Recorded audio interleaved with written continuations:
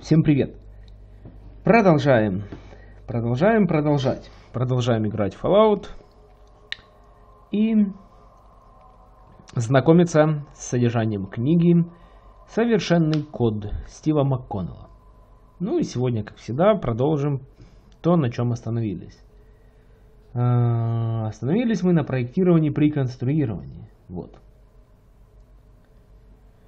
Но для начала надо загрузиться. Ага, я уже вижу. Это я на базе военной. Да, я, а, да, я в прошлый раз взял уровень. Уровень, текущий уровень уже 15. И конец игры уже близится. Так, я прокачал тяжелое оружие 53%, но но может взять этот потрошитель выкинул не надо. Блин а что бы еще взять? Миниган наверное не не получится да миниган тяжелый типа ласкаутся ними никогда не надо были ими особо не пользовался. Что еще тут тяжелое Кассеты вот эти или что? Гранаты. Так, гранаты, наверное, тоже выкину. Так, 22. Не, не берется. Блин, вот это оружие не хочется выбрасывать. И силовой кастет, хотя нафиг он мне надо. Чё бы, чё бы еще выкинуть?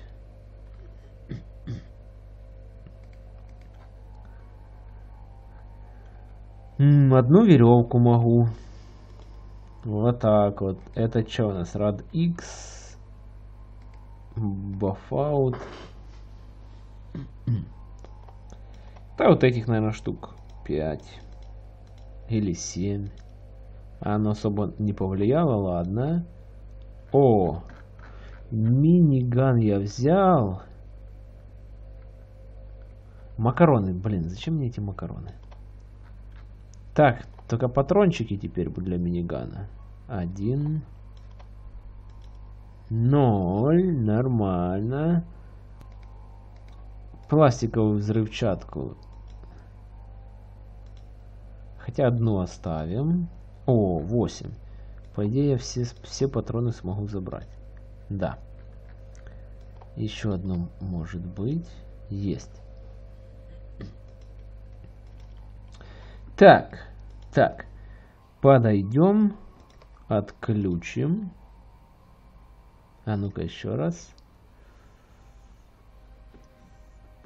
А ну-ка, если я сюда подойду. Ой-ой-ой. Ладно.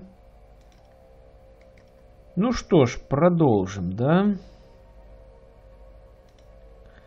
Так, куда нам в процессор? На тебе.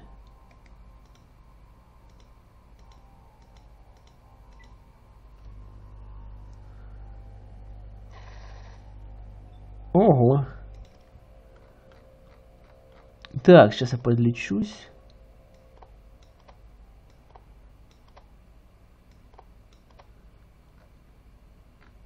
Попробую-ка я взять в руки миниган. Вот. Блин, блин, блин, блин, блин. Надо было броню нормальную надеть. Вот я тупанул. Так, ладно, короче. Эм, продолжим, да. Итак, какую степень проектирования считать достаточной? Иногда перед началом кодирования создается только самый общий набросок архитектуры.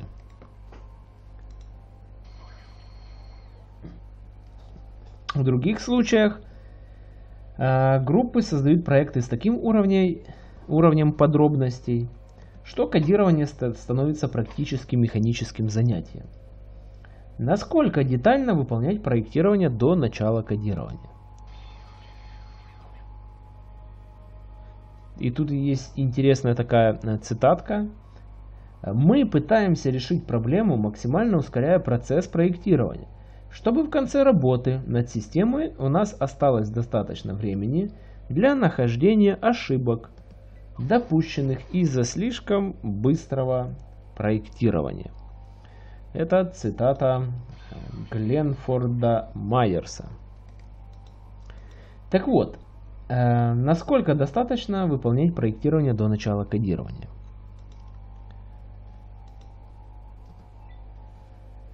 Родственный вопрос заключается в том, насколько формальным делать проект. Нужны ли вам формальные, тщательно выполненные диаграммы проекта системы или цифровых снимков нескольких рисунков на доске будет достаточно. А, принятие решения о том, какую часть проектирования выполнять до начала полномасштабного кодирования и насколько формально документировать проект системы, трудно назвать точной наукой.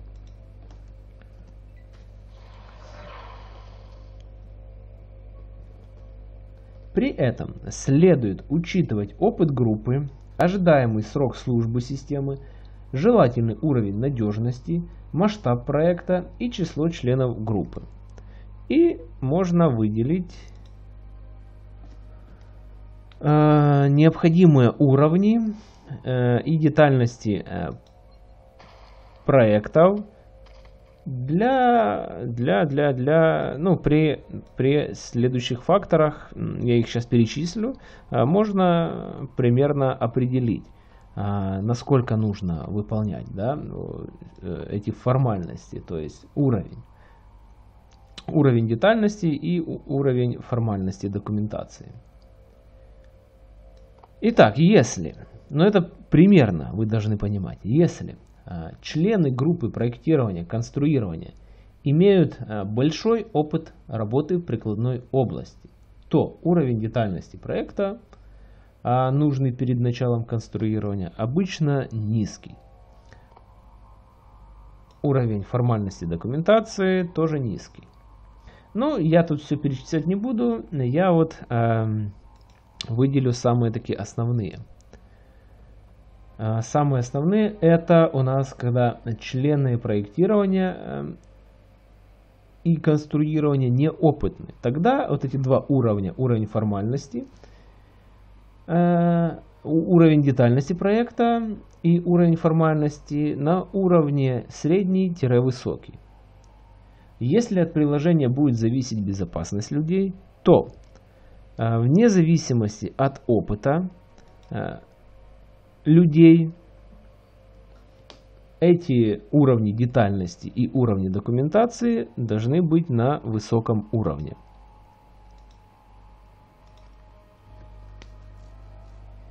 Ну, низкий уровень это тогда, когда приложение будет э, использоваться, предполагается, что оно будет использоваться недолго, то есть недели или месяцы.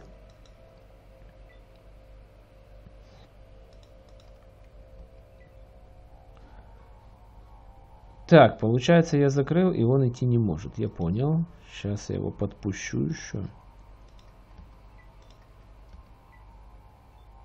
А теперь вот так вот сделаем. Вот.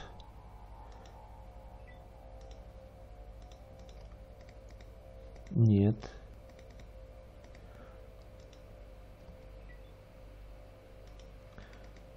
Так, а откуда я смогу в него попасть, а?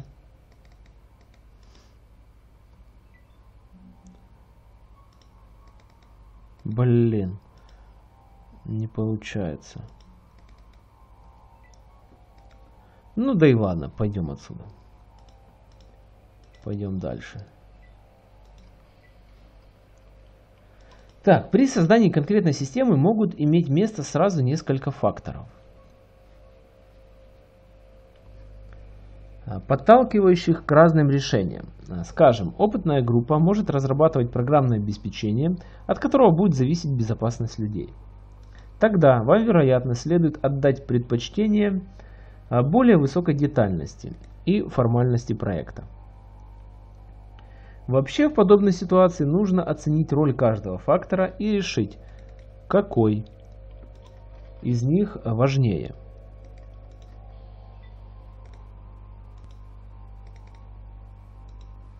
Так, стреляем в глаза. Промазал. Блин, он с энергооружием. Ну да ладно. Если разработчики выполняют какую-то часть проектирования индивидуально, то при снижении проектирования до уровня задачи, которая уже была решена ранее, или до уровня простого изменения, или расширения такой задачи, проектирование, вероятно, можно прекратить и начать кодирование. Если я не могу решить, насколько детальным должен быть проект программы перед началом кодирования, я предпочитаю разрабатывать его более детально.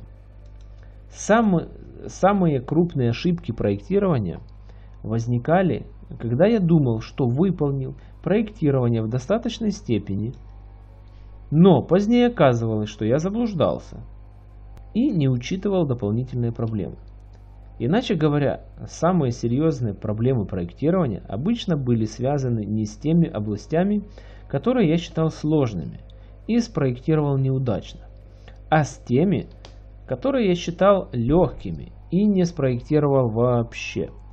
Мне редко встречаются проекты, страдающие от чрезмерного проектирования.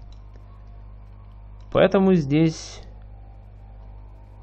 кашу маслом, как говорится, не испортишь. То же самое и чрезмерным проектированием проект вряд ли испортить можно. О, вот это уже совсем другое дело.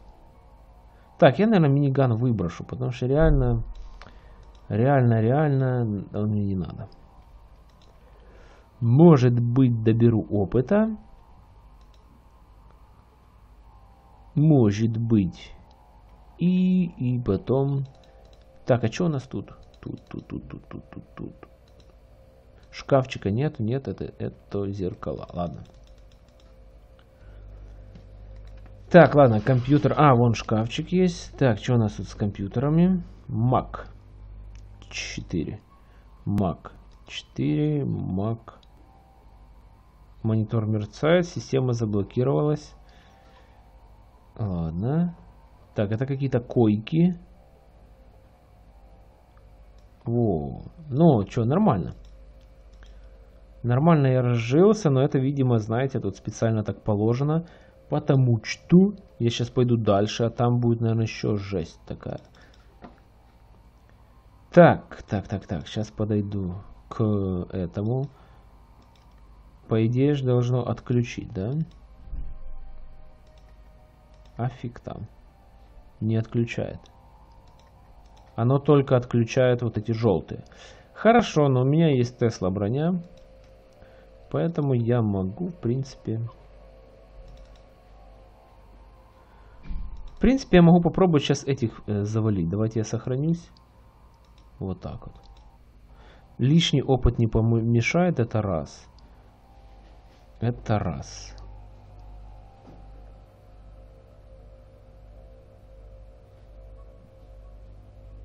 Так, так, так. Что делать, что делать? Ага.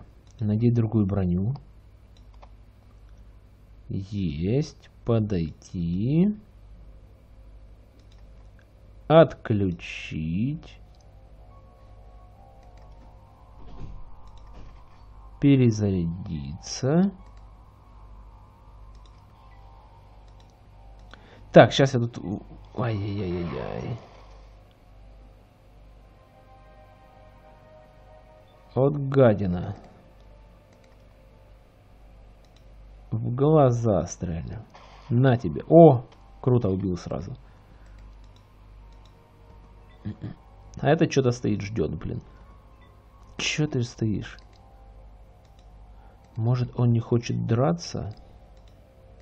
Может, он такой, да не, братишка, я же свой. Мне всегда не нравились эти мутанты. Так, ладно. Итак, с другой стороны. Иногда я имею дело с проектами, страдающими от слишком объемной проектной документации. Здесь вступает в игру своеобразный закон э, Грешема. Так, что это за закон? Это монетарный принцип, названный в честь лорда Томаса Грешема, управляющего английским монетным двором при королеве Елизавете. Суть закона Грешема в том, что худшие деньги, то есть некачественные или с пониженным содержанием благородного металла, вытесняют лучшие деньги из обращения, то есть более дешевые деньги вытесняют более дорогие.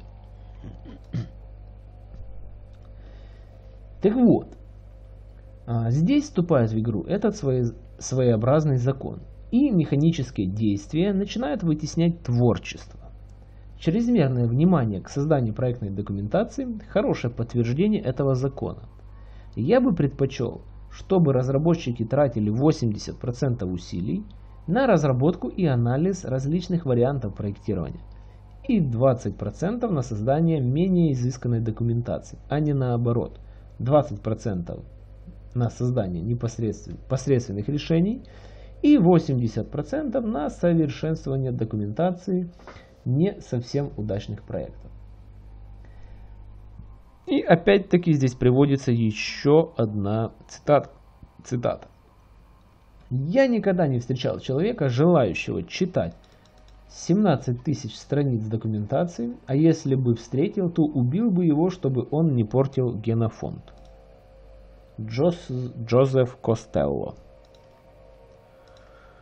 Ну да, да, да. А встречали ли вы таких людей, которые хотели бы читать документацию?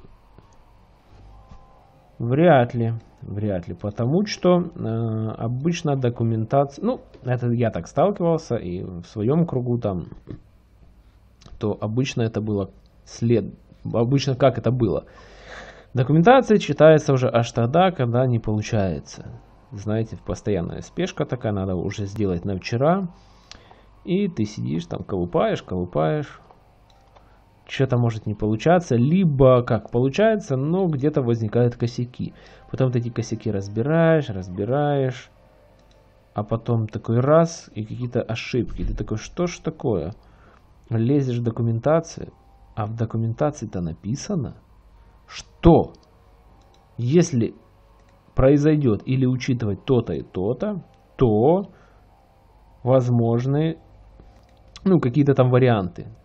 И ты, получается, если бы заранее это прочитал в документации, то избежал бы некоторых проблем в будущем. Но так, чтобы со старту читать всю эту документацию, это уже извините. Хотя иногда я же говорю, это не, неправильно. Так, ладно, надо отсюда свалить. Ну давай, выходи, выходи, выходи. О, а он и не хотел воевать, да? так. К лейтенанту. Никогда я буду прорываться с боем. Блин, у него энергооружие.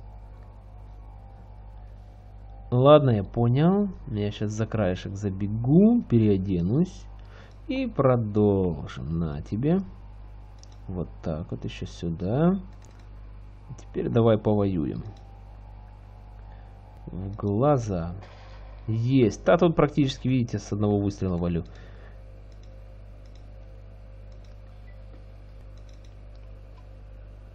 Так, что у него тут? О, и цветочек. Самое главное, что... Так, я сохранюсь.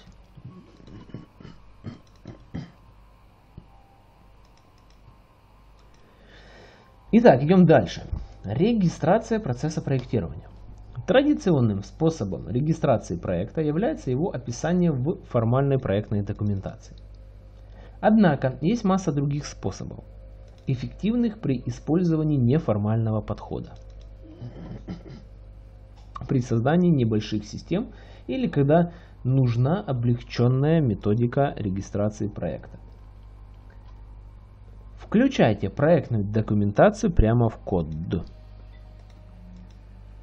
Документируйте основные аспекты проектирования в комментариях, как правило в заголовках файлов или классов. Кстати, э, есть классное э, такое, э, такое ну не приложение, а инструмент, называется Doxygen.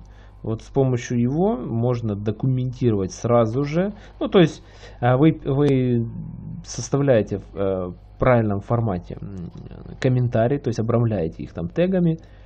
И если все вы делаете по фэншую, то в результате на выходе вы всегда сможете сгенерить документацию в виде HTML, PDF, RTF, doc, там, с диаграммами и т.д. и т.п. Очень удобная и классная вещь. О боже, он убит, да. Он был моим врагом. Тебе не следовало его... Дурочка какая-то. Я убил э, этих, она говорит, я не следовало убивать. Ну, бывает. Больная.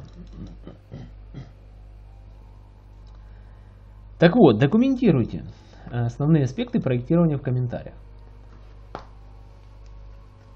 Дальше. Регистрируйте протоколы обсуждения проекта и принятые решения при помощи вики.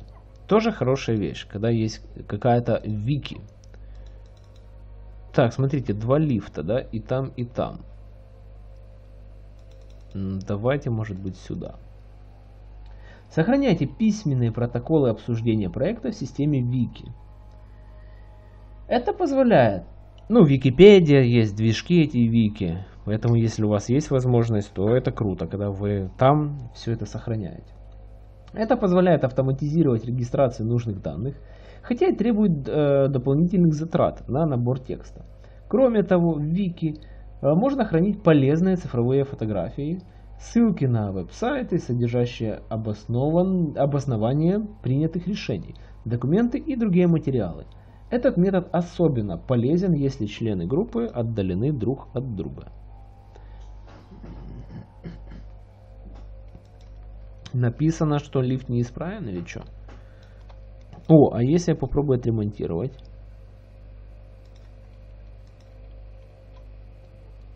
Вы не можете это отремонтировать. Как так-то? Э, ладно, не могу, так не могу. Наверное, на, на том лифте. Хотя, наверное, если этот лифт тут есть, значит можно. Просто уже лень уже тут разбираться. Уже, в принципе, тут все так более-менее бегал. Так, ладно, идем дальше. Пишите резюме дискуссии в форме электронной почты. Обсудив проект системы, поручите кому-нибудь записать резюме беседы, особенно принятые решения, и отправить его каждому члену группы. Сохраняйте копии писем в папке, доступной всем участникам проекта. Используйте цифровой фотоаппарат. Ну, надо, сейчас они и так уже все цифровые, это тогда не все были. Но используйте цифровой фотоаппарат. Одним частым барьером, препятствующим документированию проекта, является утомительность рисования проекта традиционным способом. Однако способы документирования не ограничиваются вариантами регистрации проекта с использованием красиво отформатированной формальной нотации и полного отсутствия проектной документации. Фотографируйте диаграммы, которые разработчики рисуют на доске, и включайте их в традиционные документы. Это гораздо проще, чем рисовать схемы вручную, но и не менее эффективно. Так, еще какой-то уровень. Попробую-ка я... Ага, тут... Так, так. Я думал, можно подойти и включить. Так, давайте я карту гляну. Ага, карта непонятна. Но тут немало мест, ну, немало, короче, комнат. Да, будет круто, если я еще один уровень возьму. Ну да ладно, надо сохраниться. Вот так. Так, ну что ж, попробую-ка я их поубивать. Выйду вот где-то сюда.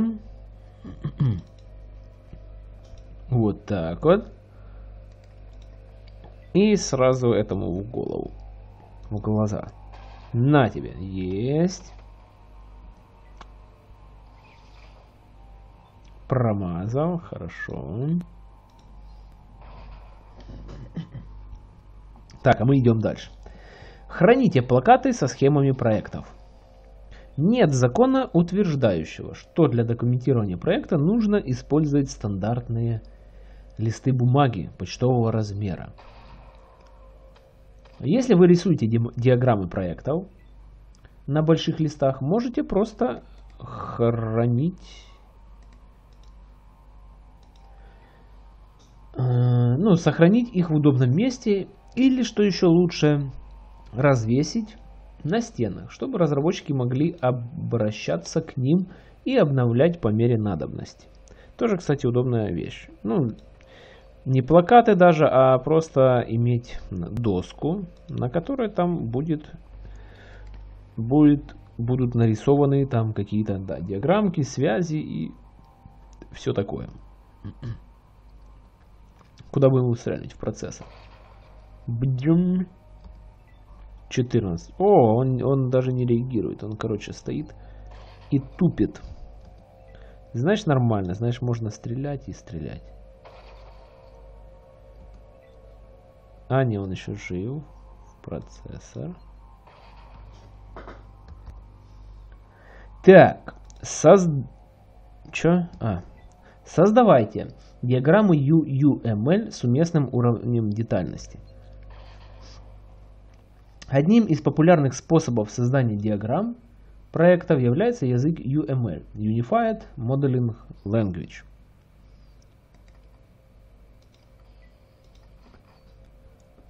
То есть унифицированный язык моделирования. Э, стандартизацией которого занимается организация Object Management Group. Вы можете использовать неформальную версию UML для анализа и обсуждения подходов к проектированию. Начните с минимальных набросков и добавляйте детали, только выбрав конкретный вариант проекта. Так как UML стандартизирован, он позволяет эффективнее обмениваться идеями и может ускорить процесс рассмотрения вариантов проектов при работе в группе.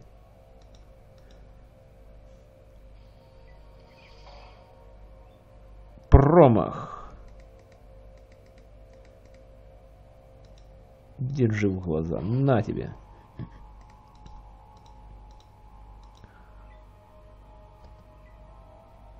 Блин, он подлечился. Я бы мог у него подмутить этот стимулятор после того, как убью. Блин. Да что ж такое? Короче.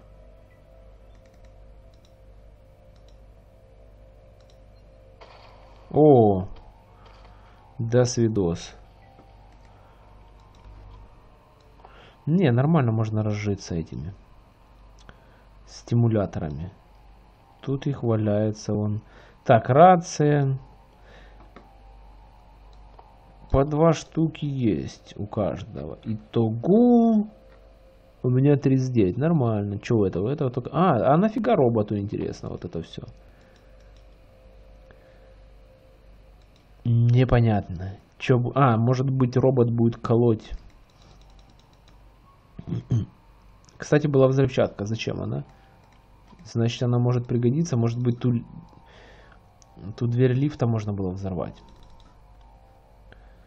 О, о, какие-то эти сектанты. Что у нас тут? Там робот. Давайте-ка. Давайте-ка стрельнем сейчас в него. Так, процессор, на тебе.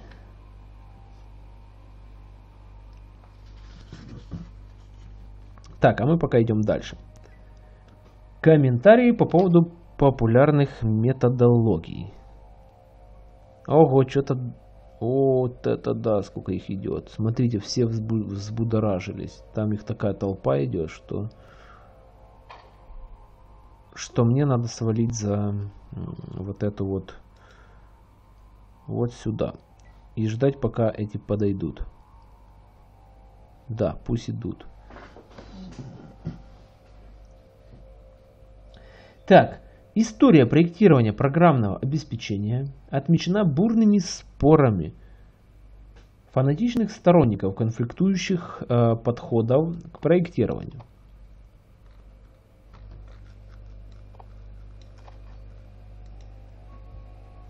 когда в начале 90-х годов вышло в свет первое издание вот этой книги, фанатики проектирования утверждали, что перед началом кодирования нужно расставить все точки над «и» на этапе проектирования.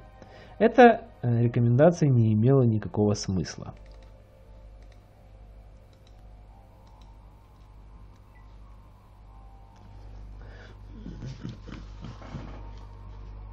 Сейчас, в середине первого десятилетия 21 века, некоторые проповедники утверждают, что проектирование вообще не требуется. Крупномасштабное предварительное проектирование – это плохо, говорят они. А лучше вообще не выполнять проектирование перед началом кодирования. Ну, это, на мой взгляд, реально какие-то сектанты. За 10 лет маятник а, сместился от проектирования всего до проектирования ничего.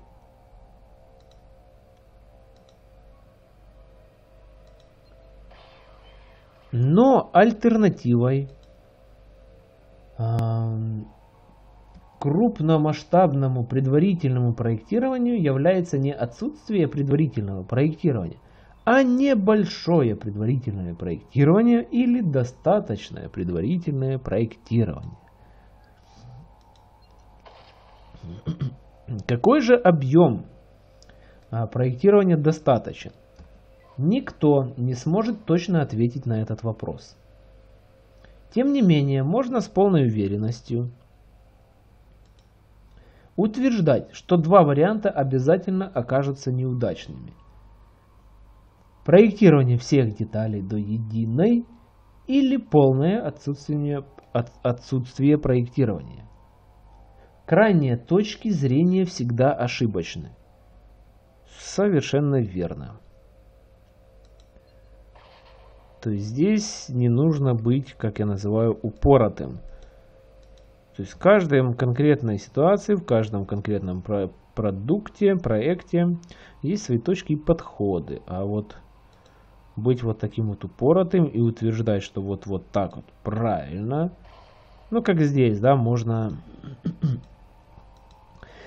перед началом кодирования выполнить очень детальное проектирование, и в результате все равно будет это все переделываться. Так, ладно, а мы идем дальше. Как сказал f.g.plodger,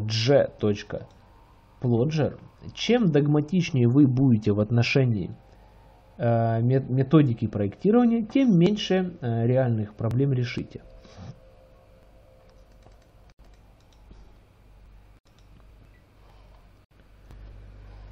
Рассматривайте проектирование как грязный, неряшливый эвристический процесс. Не останавливайтесь на первом проекте, который пришел вам в голову. Трудничайте, стремитесь к простоте, создавайте прототипы, если нужно. Не забывайте про итерацию, и вы будете довольны своими проектами.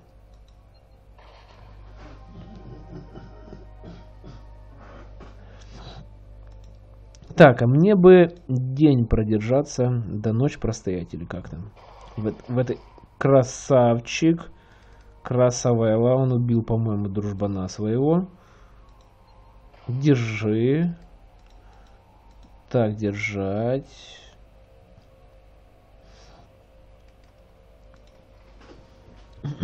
Так, перезарядился. И мне уже не хватает, да?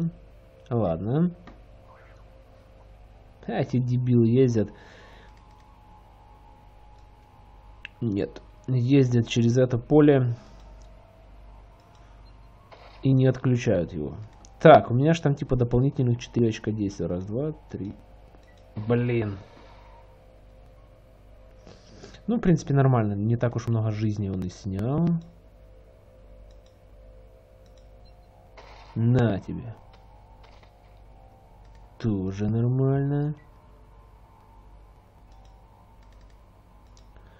Дальше в процессор. На тебе.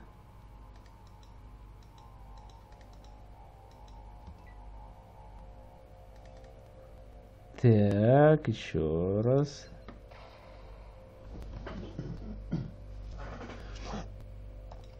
Ну, нормально. Так, надо сохраниться, потому что сейчас сколько всех поубивал. Где-то случайный какой-то этот кинет кирпичом, пройдет крит и, и помру я. Ух ты! Что это у него? Гатлинг лазер. Да, крутая штука. Крутая. Это было бы, был бы навык, то можно было бы, конечно, их тут так разносить. Но навыка нету. И что имеем, то имеем. Так, у роботов, как было обнаружено, может быть стимуляторы. Могут быть. Так, подождите, а этих я уже промародерил? А, ну вроде да. А куда я шел? Так, к этим э, я еще не хочу. А, я дальше шел. Вот, я же приехал на лифте. Вот еще какой-то лифт. Так, ладно, идем дальше. Идем, идем дальше. Так, а что у нас тут дальше, кстати?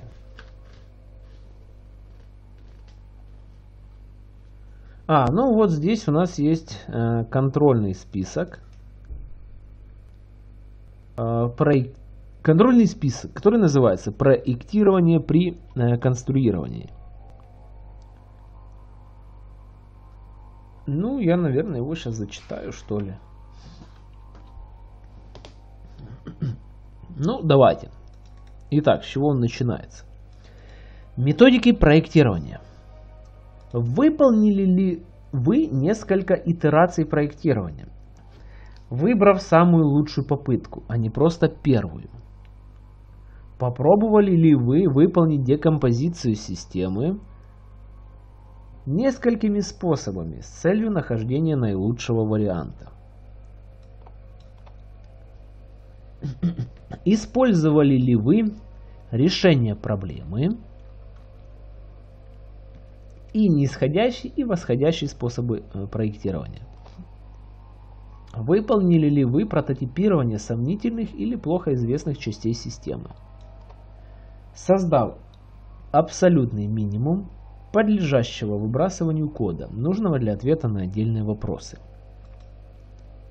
Был ли выполнен формальный или неформальный обзор вашего проекта другими разработчиками?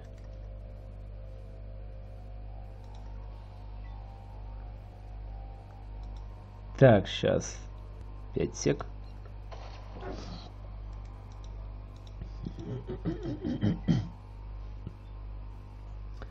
Довели ли вы проектирование до той точки, в которой реализация проекта кажется очевидной?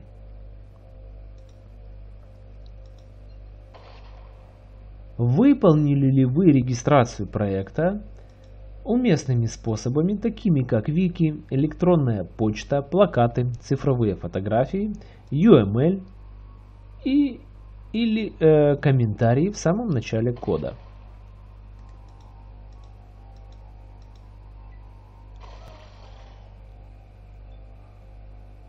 Погодьте, это лейтенант вот вот это. Я в него только что стрелял. Офигеть, это типа главный? Так походу он...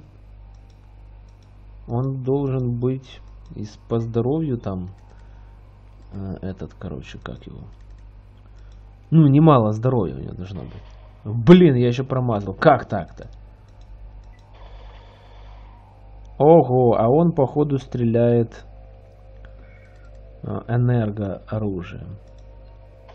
Да елки-палки, сдохни. Куда бежать, куда бежать? Не лечись. Так, я, наверное, вот сюда побегу.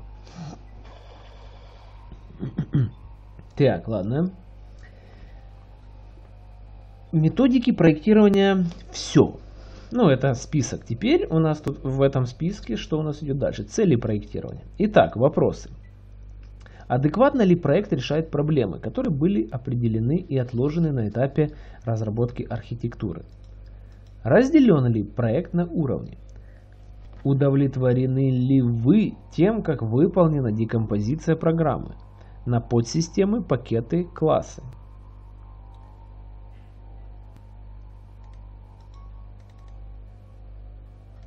Блин, а что не могу стрельнуть?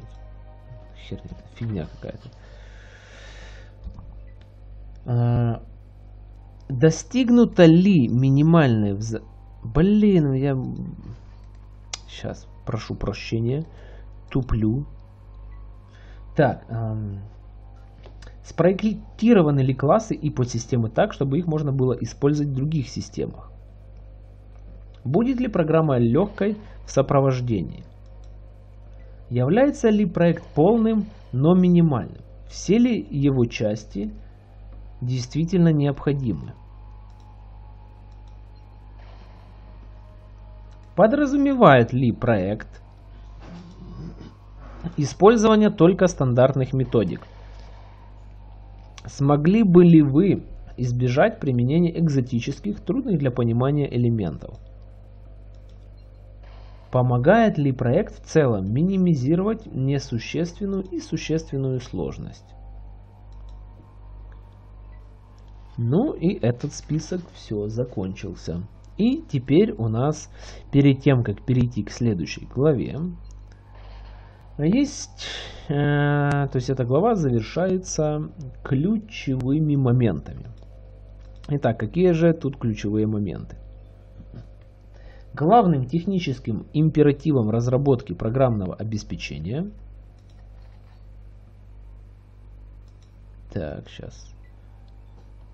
А, является управление сложностью. Управлять сложностью будет гораздо легче, если при проектировании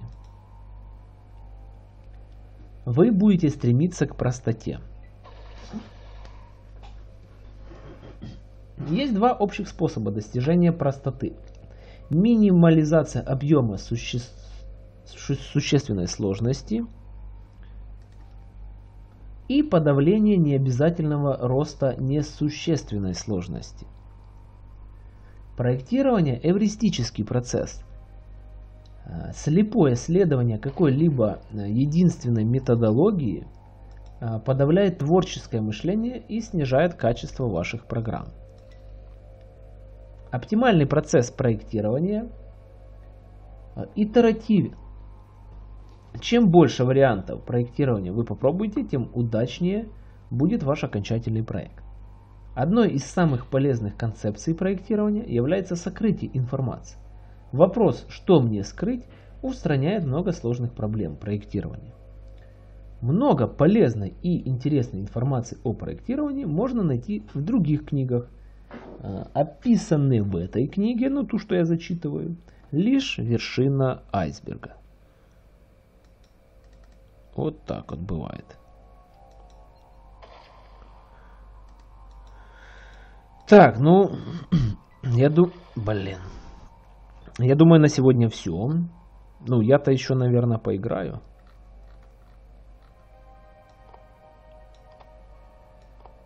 Минут так несколько, а, потому что эта э, глава закончилась. А дальше следующая глава это у нас классы. Дело в том, что тут а, я смотрю примеры кода есть, вот надо подумать, как бы это так, как бы это так зачитать, потому что код же ты не будешь зачитывать, правильно? Правильно, но какие-то основные моменты зачитать надо, потому что опять-таки здесь много, много этих короче, полезных советов. Полезных советов, которые вам помогут. Вот поэтому, если вы именно смотрите вот эти прохождения только чтобы на фоне, ну, только чтобы слушать на фоне вот это мои зачитывания, то уже я больше зачитывать сегодня ничего не буду. Я всего лишь Попытаюсь доубить этого лейтенанта, ну, может быть, пойти еще кого-то убить. Потому что что-то он очень слишком крут. У него много здоровья, и он что-то долго, долго помирает. Вот, он, он при смерти, но он при смерти... Фух, наконец-то. Блин, не понял. Что это происходит с ним? Ничего себе концовочка. Э, э, э, ого. Да, концовочка, что-то он умирал так долго. О, диск с зашифрованной информацией. Хорошо. Закрыто. Блин, задолбали закрывать. Если честно.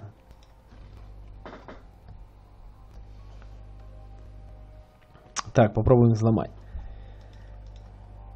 Так, так, так. Ну, такие книги полезны. Но их, их еще полезно не просто один раз читать, а иногда перечитывать. Потому что ты... Что это? Ключ. Ух ты, какой-то ключ. Потому что иногда ну как, ты можно ее прочитать, и, как, короче, ты, ты работаешь над одним проектом, потом, потом, потом, ты читаешь эту книгу, берешь, ну, акцентируешь внимание как раз на тех вещах, которые как раз применимы к твоему проекту. Потом проходит время, ты работаешь над другим проектом или что-то подзабылось, то есть ты читаешь опять эту книгу и, и что-то новое для себя все равно узнаешь. Что-то уже на некоторые вещи смотришь по-новому, потому что с каждым разом у тебя опыта больше и больше. То есть может быть даже такое при чтении какой-то книги, да, может показаться, что автор там какую-то чушь несет. Но при получении этого опыта ты понимаешь, что не такую-то чушь этот автор и нес. Так. Лифт неисправен. Ну так это, это ж, по-моему, не тот. А помните, мы на том этаже были, и там между лифтами вроде бы побольше расстояния было. Странно. Хотя, хотя это, может быть, мне так кажется. Так, ну да ладно, что мне? Мне надо сейчас отключить вот это. Вот это, взять вот этот отключатель. А он что-то не отключает. Че, сломался? А как мне отключить? Хорошо. У меня ключ еще есть. И куда я этим ключом? Наверное, вот сюда.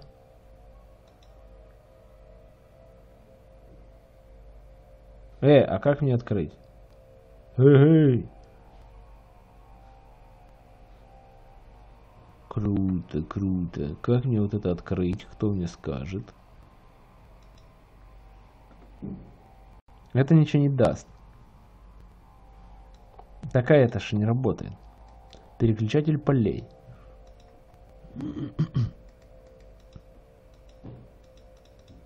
Блин, ну мне ж надо как-то туда добраться. Офигеть. А может быть этот ключ к этому неисправному лифту? Ну, типа там табличка висит, лифт неисправен. Но на самом деле мы-то понимаем, что это за мануха. А ну-ка.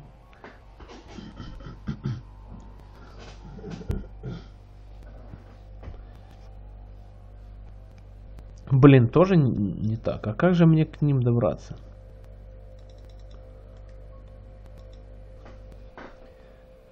Бррр, тут ничего нету. Может быть взрывчаткой взломать. Не, ну этот ключ от чего-то. Так, у меня есть взрывчатка? У меня вроде была, я оставлял одну. Да, есть две штуки. Можно пойти попробовать взорвать.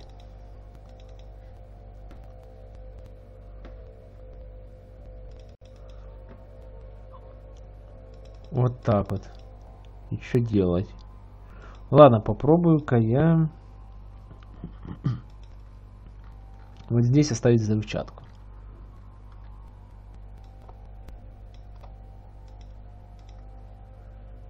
Так, поставим 20 секунд. И, и надо бросить, да, вот так вот. Валим, а!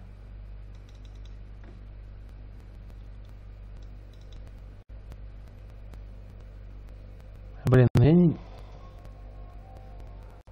О, взорвалась. Нормально. Так, сохраняемся. Где тут сохранить? Ай-яй-яй, сохранить.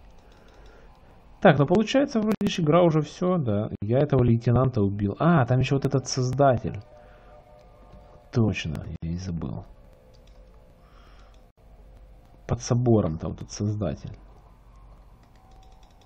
Ну чё ты, нарколыга?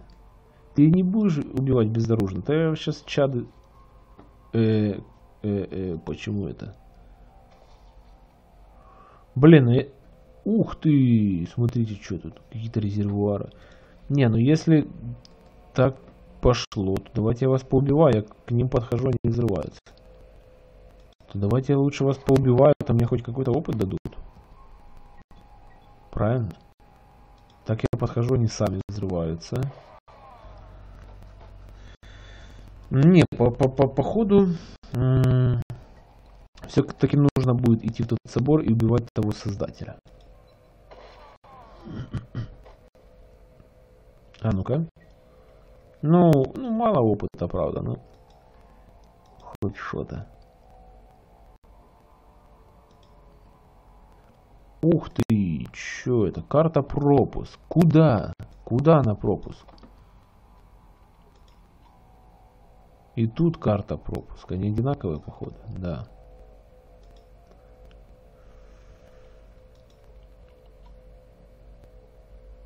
Вы поп... но не можете получить. Почему? Потому что, наверное, чуть-чуть туповатый. Да? Надо, надо науку использовать.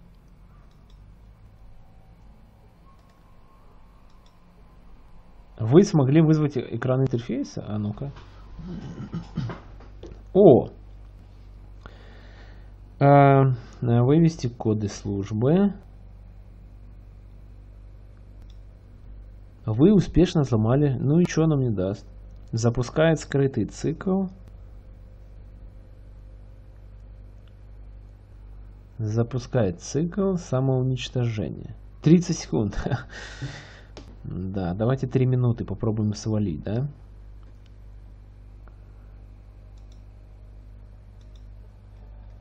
Все, валим, валим. Он, смотрите, внизу 300 секунд пишет. А, получается, я сейчас эту базу уничтожу. Я получил 5 единиц кармы. А, куда? Не-не-не, сюда, сюда. Давай, давай быстрее, не тупи, не тупи, дружище. Нам надо убежать отсюда. 300 секунд. Ну я что всех поубивал, в принципе, чем мне париться. Так. Я могу спокойно уже просто бежать. О, 280, там нормально успеваю. Так, это я сейчас взорву эту базу, но создатель-то, в принципе, как был, так и остался там в соборе. Ну, надо, наверное, сейчас сбегать в этот, а, в свое убежище и сказать главному, что, мол, так и так. Я там убил. Так, где тут выход? Выход, выход. Да, где-то тут. Вот он. Так, 255 секунд. Э, сколько прошло? 50 секунд меньше минуты.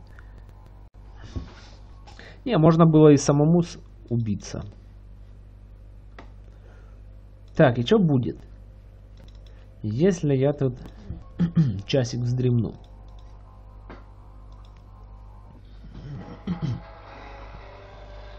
Ага, это видосик. Как взрывается база. Ну, нормально.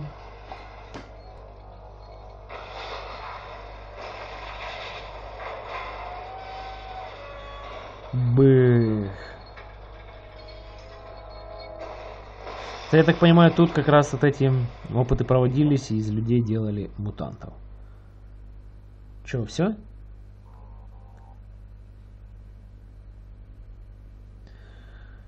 Э, ну, я так понял, все. Блин. Блин. Могли бы написать. Типа так и так, ты красавчик. Ну да ладно, бывает, что делать. Значит, в следующий раз начнем играть в Fallout 2. Там, кстати, Fallout 76 анонсирован на, вроде бы на ноябрь. Я хотел даже...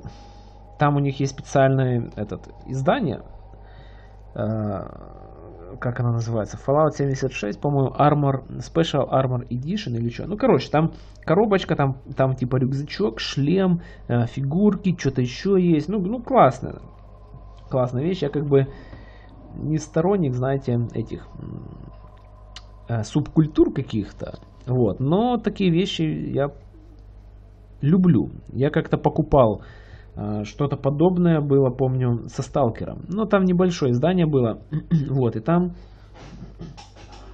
э, с диском э, шла еще зажигалка, жетончик, типа артефакт, ну просто какая-то пластмассовая хрень, э, внутри которой диодик там загорался там разными цветами. Вот, что-то там еще было. А, книжечка небольшая с рассказами сталкера. И что-то еще было. То есть, ну, так, неплохо. Вот, и думал, вот этот э, Special Edition. Кстати, там вот такой вот шлем как раз. Но написали, что уже раскупили. То есть игра еще не вышла и раскупили, то как-то хотелось бы, чтобы, ну не знаю, этот Armor Edition появился. То есть если вдруг я все-таки его куплю, ну надо посмотреть какая цена. Может быть там цена сумасшедшая. То если прикуплю, то я, конечно же, обязательно вам покажу. Э, ну, распаковку, да. Как это по-модному называют, unboxing, вот. Но, что я могу сказать, я буду ждать этой Fallout 76. А, правда, не знаю, пойдет ли она, вряд ли у меня пойдет на ноутбуке там, на компьютере уже вряд ли, компьютер уже, сейчас какой, 18, ну, уже 9 или 10 лет. То есть там уже такой старенький. Ну, возможно, прикуплю что-нибудь там. Э, ну, посмотрим. Но, короче, как бы в следующий раз уже продолжим с Fallout 2. Ну, а там как пойдет, да. А, может быть, книг на самом деле очень много, которые вот так вот можно, в принципе, зачитать, которые интересны. А, есть о чем почитать, о чем подумать. Поэтому тут работа еще не початый край, как говорят. Ну, на сегодня все тогда уже. Это окончательно все. Всем спасибо за внимание. Подписываемся, делимся, ставим лайки, комментируем и все такое. Всем пока.